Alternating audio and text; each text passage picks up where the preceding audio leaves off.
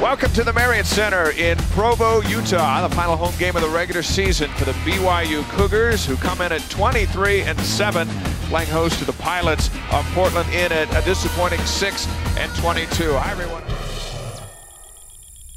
Well, they're going to need to be a lot better. Davies, leading scorer in conference play. Decision, Davies did a nice job. Carlino with the car. Good looking pass to Vandermars. Carlino. Corner to Zylstra. 18 to 6 BYU. Nice drive and dip. Davies down low. Riley for three. Knocks it. Baskets duo from the baseline. Another air ball. Davies on the rebound. Bailey gets past Zylstra. Oh, Nate Austin. The lob for Davies. Fouled.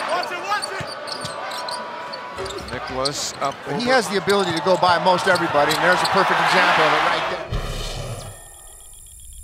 Jason's playing with three fouls. Zylstra open for three. 15 on the shot clock. Davies working on Vandermars the season before starting the first of a four-year run Carr avoids the turnover.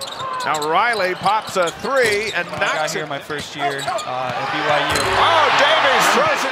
Driving in on Carr. He's fouled. Carlino leaves it for Austin. In WCC tournament. Nicholas for three. Douglas open for three. Carlino a little late. Gets past Douglas. They're going to count here at home. Kaysen up over Austin. That's going to do it.